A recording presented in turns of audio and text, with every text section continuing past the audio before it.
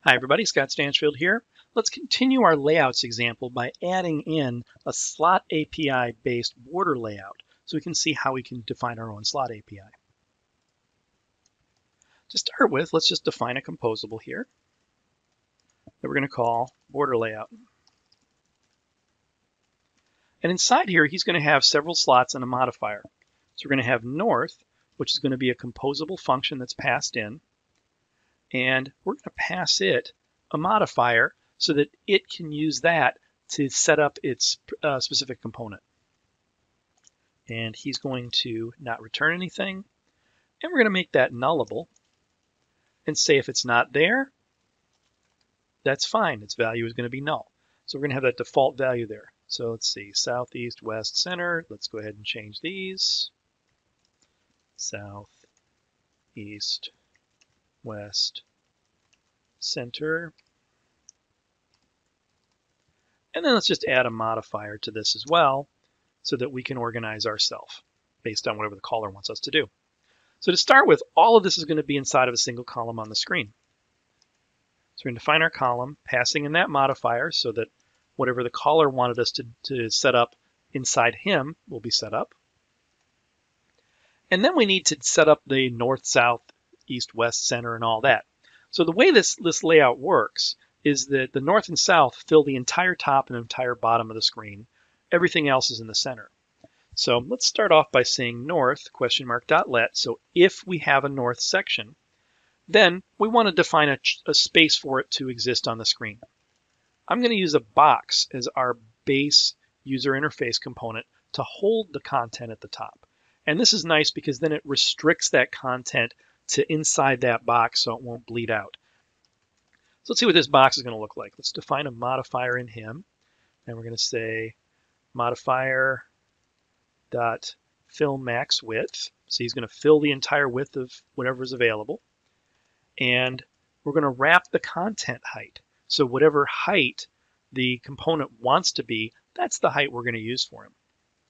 And then inside that box, I'm going to say it dot, actually I can just say it paren, paren. There we go. And pass in the modifier that we want to send to him to ask him to implement. So I'm going to say modifier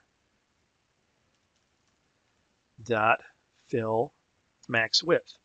So we're telling the component that we're calling, the composable that we're calling, that we'd like him to add this modifier to himself. So he'll fill out this box. Otherwise, he's just going to sit at whatever size he wants to be. That takes care of our north. Let's do our south for the bottom, which is going to be exactly the same. But we're going to have some stuff in the middle that kind of forces it away. So in the middle, there's going to be three components, west, center, and east. So let's define a row for that, because it's just going to be a row representing what's across the screen. And for this guy, we're going to say modifier equals modifier fill max width. So the entire row will fill the entire screen wide. And, whoops, we're going to say that we want weight 1 on him. Might as well just collapse these together. Oops. And make that a 1 float. So what this does is he's going to fill the max width of the screen that we're on and he's going to set up a weight of 1 inside that column. What that does is north and south will be laid out, and then whatever space is left over vertically will be given to the row, which is really what we want to have happen here. Now inside that row, we have three components, west, center, and east, and we're going to do something very similar to this outer structure. I'm going to say west.let, and let's just go ahead and copy this stuff here. It's going to be very similar. And instead of fill max width, we're going to fill the max height and say wrap content width. So we want him just to be as wide as he'd like to be. And then inside there, we're going to ask him to fill max height. Boom. Let's do the same thing for east. And then the center section, can probably repeat that and just tweak some stuff. The modifier is going to be a little bit different for that. He's still going to have max height, but he's also going to have a weight, just like we did for the row. And this says he's going to take up whatever remaining space there is within that row horizontally. Pass that guy in. And then we'll call the it passing in the fill max height. Now keep in mind each of these its that we're calling are functions. It's just whatever the function for center was once we got rid of the nullability. So this structure here is a very simple slotted API. We're passing in slots for where we want to put things, and then just defining a structure for how we want to organize that on the screen. Let's create a little common function, a little helper function for this. So we'll say composable, fun, sample, border layout. And let's just put some stuff on the screen and see how it looks. So we're going to call our border layout, and our modifier is going to be let's put these on separate lines there because we're going to have several pieces. Modifier dot fill max size. There he is. And then we're going to define all our north, south, east, west. And I'm just going to put in text fields for those, or just uh, normal text to display inside, but I'll put them in different colors so we can really see where they're actually uh, expanding. So let's do a north equals text. And we'll have the text for him be north and pass in modifier equals modifier dot background. And let's give him a background of color blue, just so we'll be able to see him. Whoops, uppercase blue is what I wanted.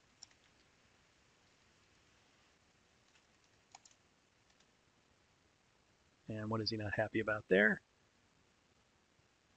Did I do the wrong color? Um, I did Android graphics instead. So let me undo him a little bit there.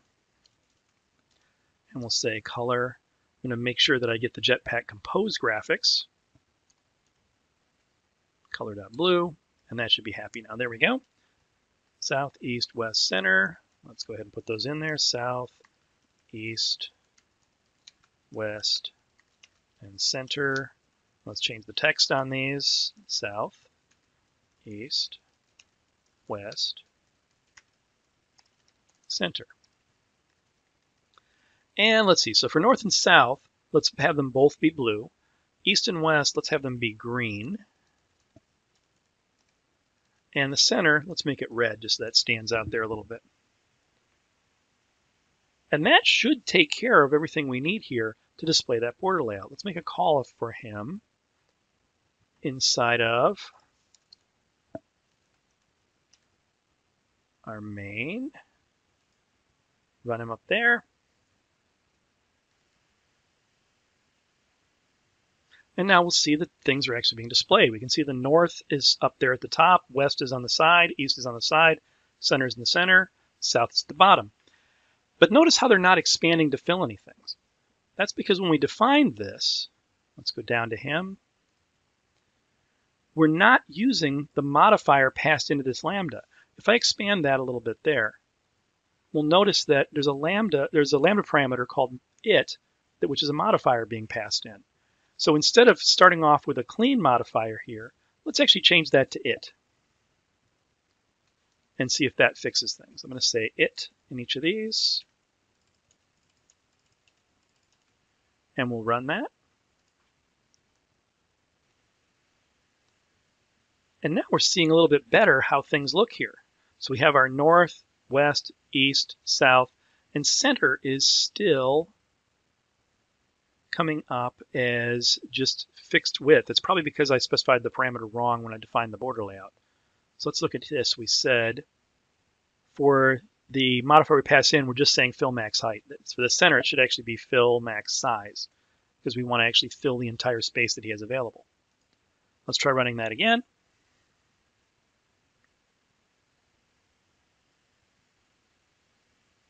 And now we see that everybody's taking up the space that they really should be taking up.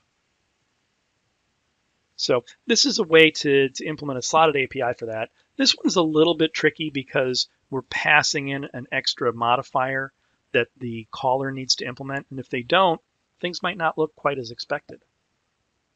But that's sometimes a trade-off when you're using a slotted API. Sometimes you have to have the caller and the called slotted API cooperate like that by passing parameters back and forth. Uh, depending on what you're trying to do, that might not always be necessary. Like when we use scaffold, they've set it up so you don't need to do that. It takes care of it for you. Now, creating a custom layout gives you a little bit more control of this, but in many cases, using a slotted API like this does a great job and gives you the control that you need, and it's usually good enough.